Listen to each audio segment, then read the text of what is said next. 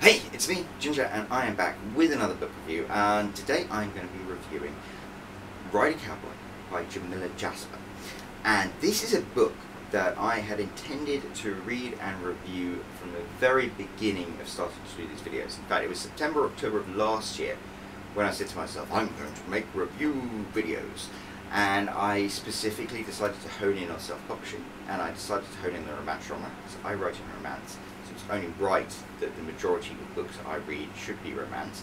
Um, and there were certain authors that I wanted to, to hone in on. So there was C.B. Samet, who have done a, a, review of one of her books. There was Lilian Monroe and Jamila Jasper. She really stood out to me. And so I was like, that's going to be one of the first books that, that I review. Um, didn't quite happen like that in the end, but anyway.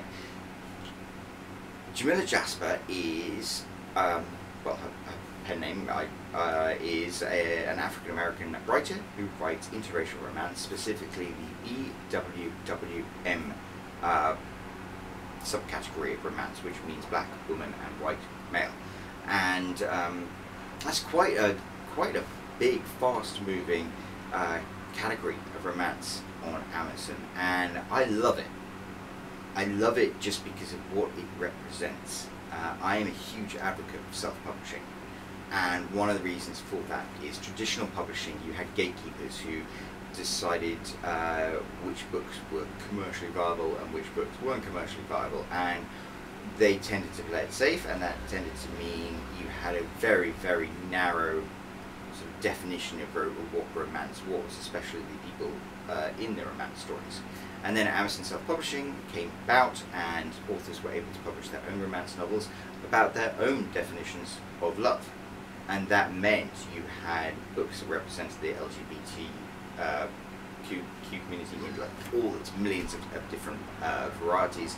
You had books um, about interracial romances, and the the black woman, white male uh, category of romance was one that really picked up and found its tribe on Amazon. But all of these different subcategories found their tribe. But that's what I love about it traditional romance was always very, very, very narrowly defined and kind of like monochromatic. And then Amazon self-publishing empowered people to bring immense diversity into romance and really represent you know, what love meant to them. And everybody, whatever your your particular de definition of, of romance and attraction and things, could find books that spoke to you. And that I just love that about uh, self-publishing and about what Amazon did when they brought in the Kindle.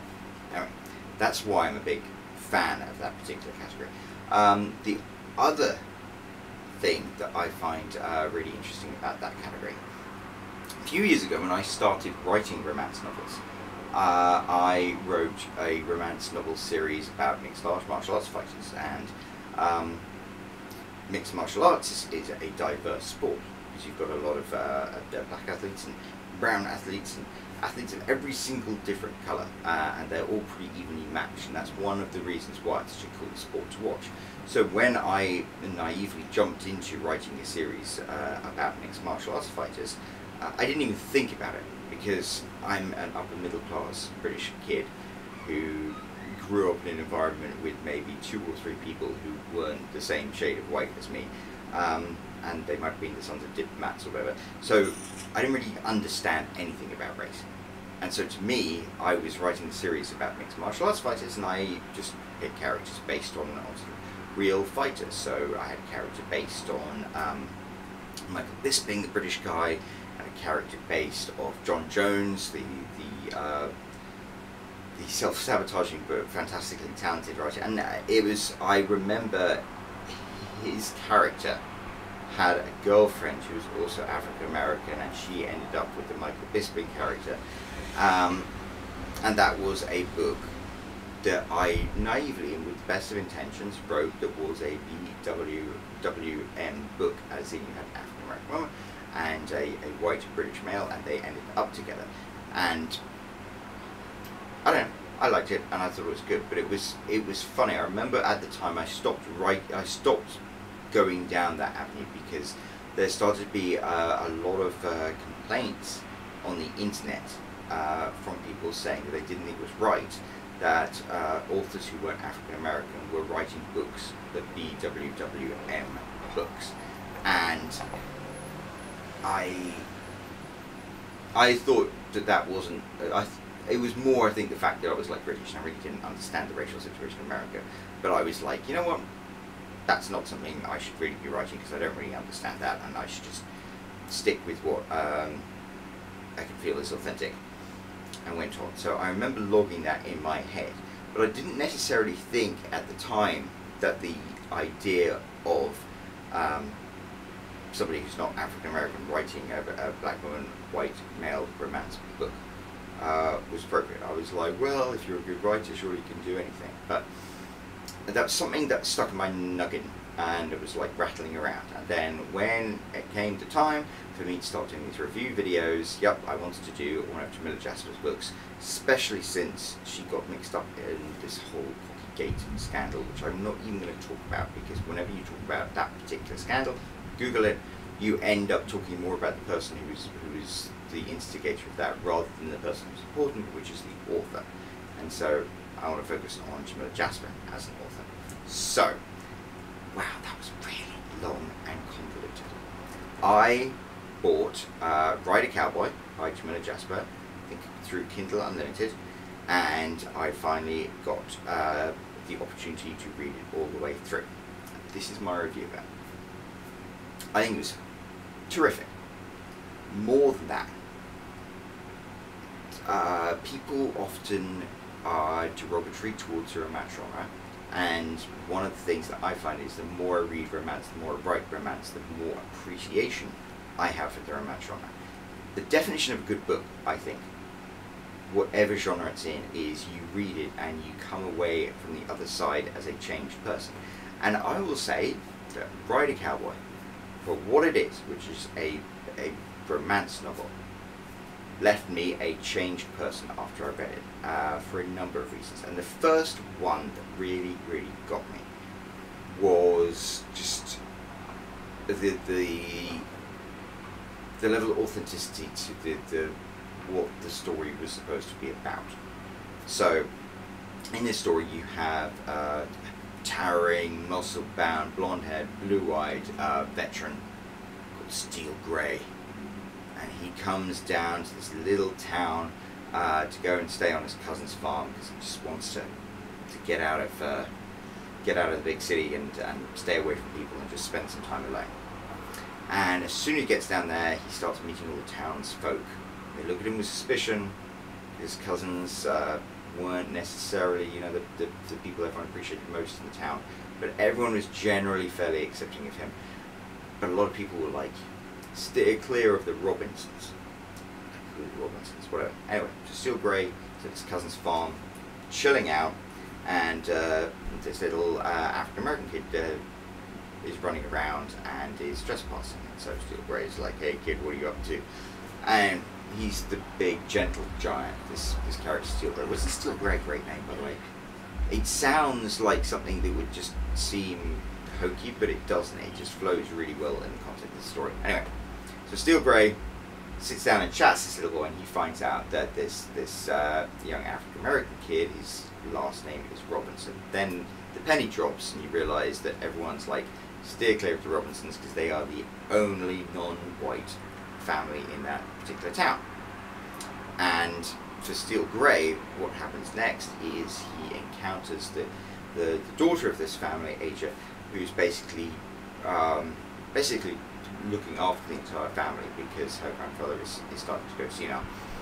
And of course, they have a mutual attraction and they fall in love. And of course, the townsfolk uh, are antagonistic because they're kind of racist. Uh, and um, the story does have a happily ever after.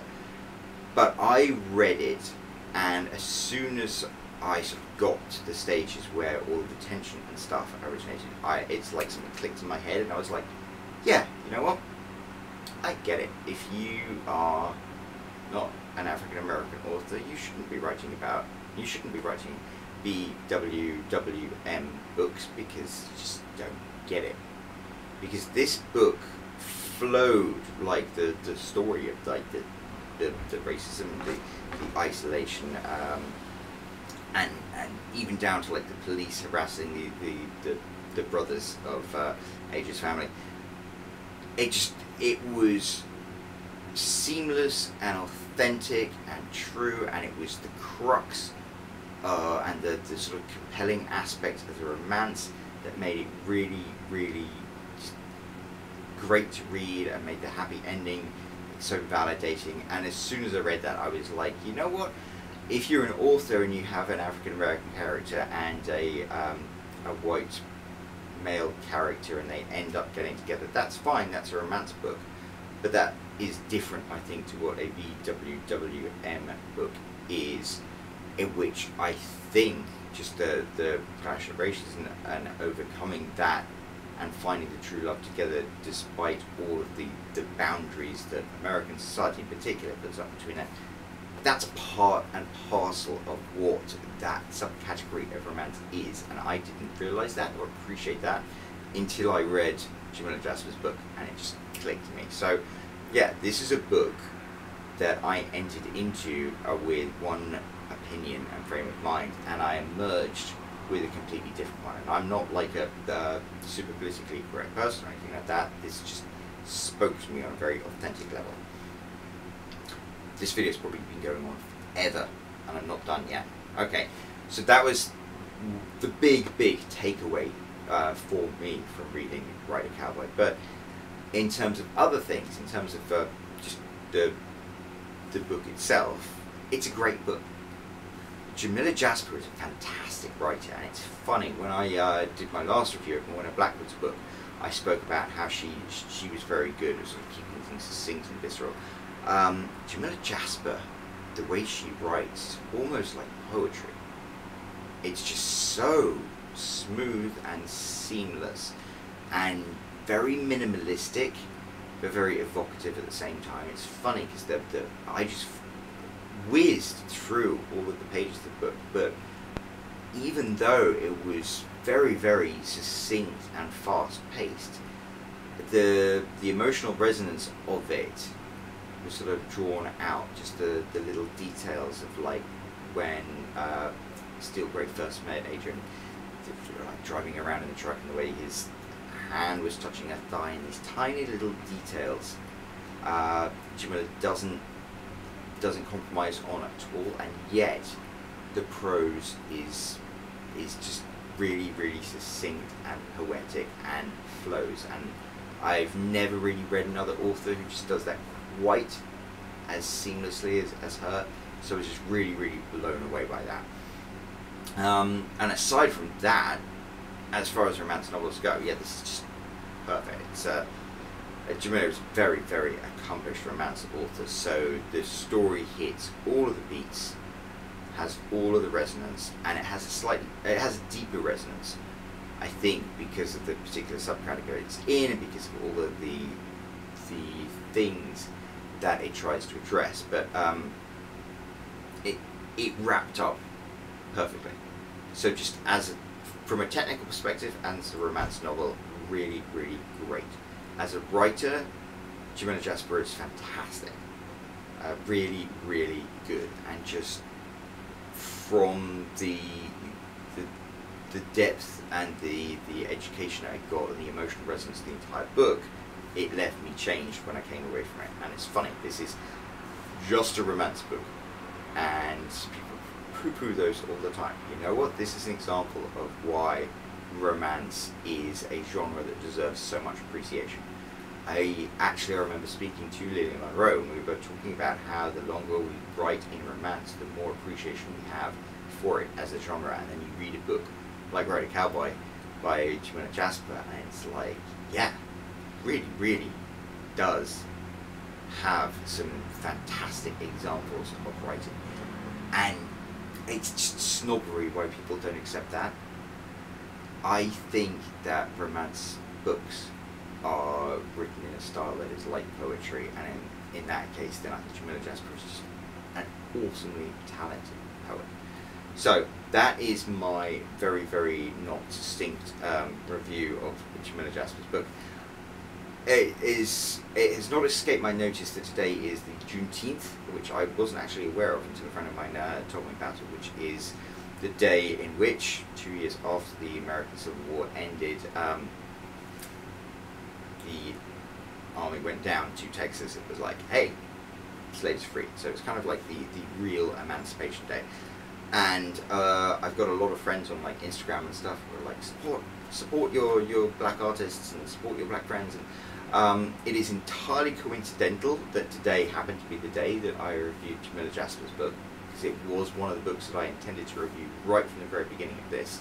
But I think also all things happen for a reason. I think it's it's kind of good that it did because uh, I think it's the right time to be having conversations and examining things and having your opinions changed by books and reading books that are outside of the the, the narrow circle that you normally get to. So, yeah, terrific job, uh, Jamila. I will definitely be reading more of your stuff in the future, and stay tuned for another book review from me soon. Cheers.